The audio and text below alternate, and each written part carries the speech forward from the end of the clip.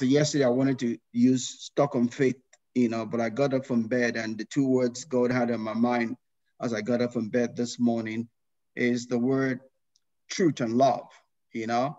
And if you all know that the only two things that demarcate the church of a living God, the church that Jesus Christ said he was going to build, and the gates of hell would not have power over it, are just those two words love and truth. And the two scriptures is John chapter 13, verse 35, where he talks about the fact that when we love one another, then the world be able to see the church. The marketing word is to, be able to know that we belong to Jesus Christ when we love one another. Is the key word love, right? But that key word does not come except by the Spirit of God.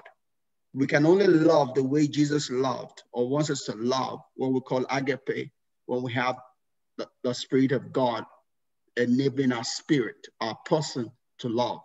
Because love is not an easy thing. Love is not what we all talk about as love. You know, I've, I've seen a lot of young people of this age having a wrong idea about love. You all say, don't judge me, you know?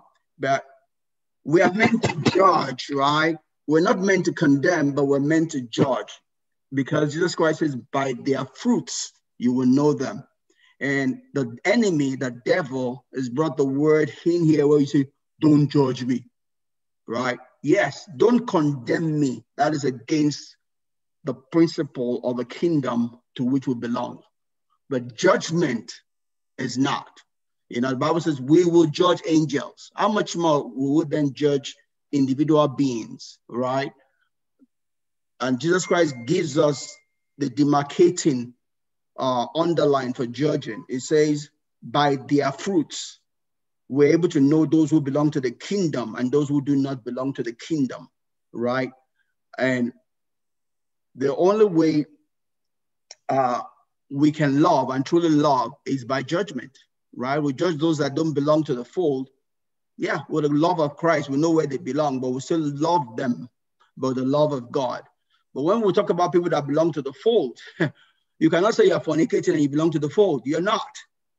Yeah, you're a stranger. I can judge you and I will judge you because that's what Jesus Christ says we should do. So love is not niceness. Love is giving the goodness that the Father has to people. Sometimes loving means I have to cane some people. Loving means I have to separate some people from me and not spend time with them because they will corrupt my spirit. Yeah. yeah. So that's the, the first